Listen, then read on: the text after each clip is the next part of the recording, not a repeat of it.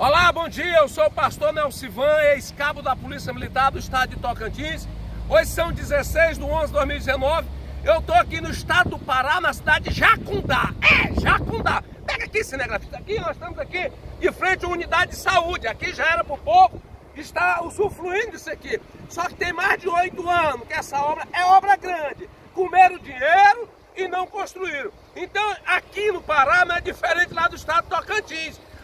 Nós estamos vendo que os políticos não estão tá nem aí pro povo, querem só botar no bolso. Então é tempo do povo brasileiro despertar. Nós não podemos mais aceitar tanto roubo, tanta coisa que está errada. Então é tempo de nós não reeleger mais esses vereadores. Só tem prefeito corrupto porque tem vereadores negligentes. Então tá aí mais uma vez, não vamos votar nesses prefeitos nem vereadores para reeleger eles. Nós estamos em Jacudá, no estado do Pará.